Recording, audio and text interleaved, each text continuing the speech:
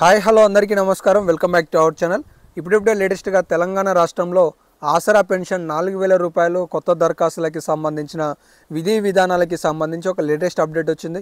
ఈ వీడియోలో ఆ లేటెస్ట్ అప్డేట్కి సంబంధించిన పూర్తిస్థాయి సమాచారాన్ని మీకు నేను ఈ వీడియోలోనే వివరిస్తాను. మీరు ఈ వీడియోని చివరకు చూసి పూర్తిస్థాయి సమాచారాన్ని స్పష్టంగా తెలుసుకోండి. అండ్ ఇలాంటి మరెన్నో ఆసరా పెన్షన్కి సంబంధించిన కొత్త విధి విధానాలు జియోకి సంబంధించి కావచ్చు మంత్రుల ప్రకటనలకి సంబంధించిన సమాచారం కూడా మన ఛానల్ ద్వారా మిస్ కావద్దు అనుకుంటే సబ్స్క్రైబ్ చేసుకొని ఈ వీడియోని ఒక లైక్ చేసి సపోర్ట్ చేస్తూ ఛానల్ని ఫాలో అవుతుండండి.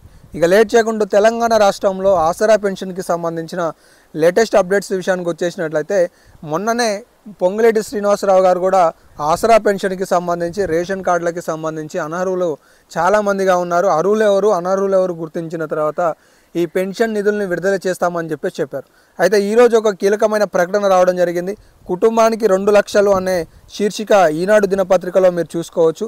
తదనంతరానికి సంబంధించిన ఇక్కడ ఆసరా పెన్షన్కి సంబంధించి దృష్టి కనుక చూసుకున్నట్లయితే దాని తర్వాతే రెండు లక్షల రుణమాఫీ అనంతరమే నాలుగు వేల రూపాయల పెన్షన్పై రాష్ట్ర ఉన్నత సర్కార్ ఈ యొక్క ఆలోచన చేయబోతుందనే సమాచారాన్ని ఈరోజు ఈనాడు దినపత్రికలో ఒక ప్రకటనగా వేయడం జరిగింది. అయితే మొత్తానికి సమాచారం ఏంటి అంటే ఆగస్టు నెలలో పూర్తి స్థాయిలో నాలుగు వేల రూపాయల ఆసరా పెన్షన్ అనేది లబ్ధిదారులకు అందబోయే అవకాశాలు ఉన్నట్లుగా మనం అర్థం చేసుకోవచ్చు.